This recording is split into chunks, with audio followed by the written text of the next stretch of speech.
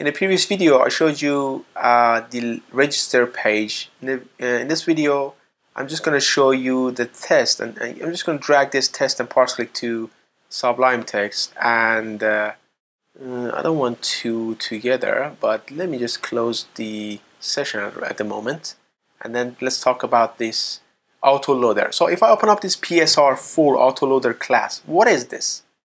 This is uh, autoloader. So you might go ahead and maybe inside your, uh, you know, uh, you know, the files on the top, you might go ahead and add, uh, let me just drag this Parsclick inside the, uh, there you go, here. If I open up the session, on the top you can see that there is no include file included already. So there is nothing on the top.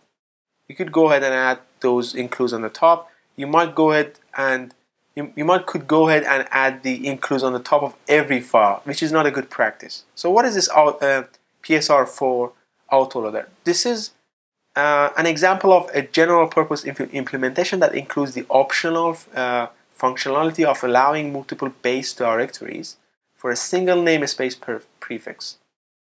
So if you're not familiar with autoloader, you probably uh, familiar with the include uh, you know things on the top. Maybe include once.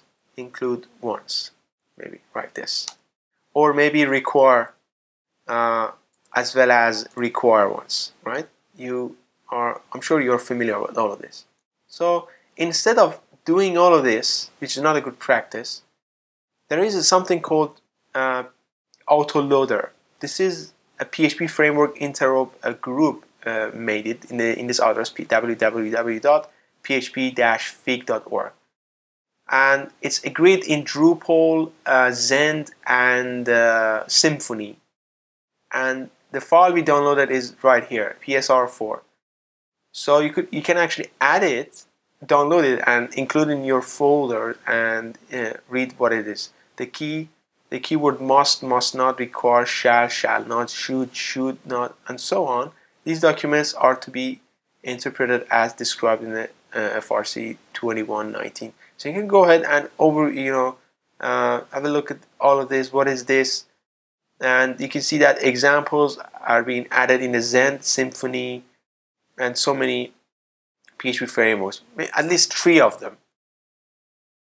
Uh, actually 40 PHP frameworks including Symfony, Zend, and Drupal uh, what is this, how we can use that. If I click on the PSR4 method documentation example implementation of PSR-4, there is an example to, to let you know how, to, how you can actually use that. So example of implementation of PSR4, closure example, and uh, this is not really useful. We, we use I used actually class example. Uh, I didn't change anything at all to the PSR4. The only thing I changed actually was the uh, namespace example. So if I open this up, you can see there on the top there is no namespace included on the top. So there we go. We have class PSR4 autoloader class. If I scroll down, you can see that the exactly same thing here, and then prefix array, and uh, so on. So this is a little bit old. You can actually go ahead and uh, copy anything you can see here, or download the file and then include it in your, uh, you know, folder and start, start using that. So now let's go ahead and start using this auto class. And let's close this and then let's go to the include. Right click, new file. I'm going to call this init.php. And then in init.php, first thing I'm going to do, we have uh, I'm going to have my PHP delimiter on the top, and I'm just going to uh, paste line by line code and explain you what they are let me just close this browser since I don't no longer use this so close tabs. And the first thing I'm going to paste is going to be the use uh, of the name namespace that we have Parsclick sessions persistent session handler. So we're going to use this Parsclick which is uh, I'm going to include it require it before I actually use that. So if I come down here and paste these two, we're going to have require once and then uh, dir because we, we're, we're going to get our directory. So doesn't matter where you are even if you change the directory name, which for, uh, for example now is named exercise files.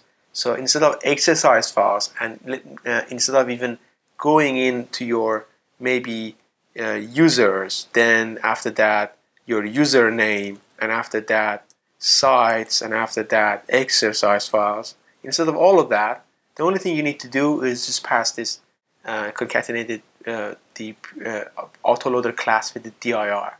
So whatever your directory name is going to get that, and then you have to add this slash after that because it's not going to add anything. Or maybe a directory separator. You can, uh, you know, directory separator we have for in PHP. I don't know if you if you're aware of that or not.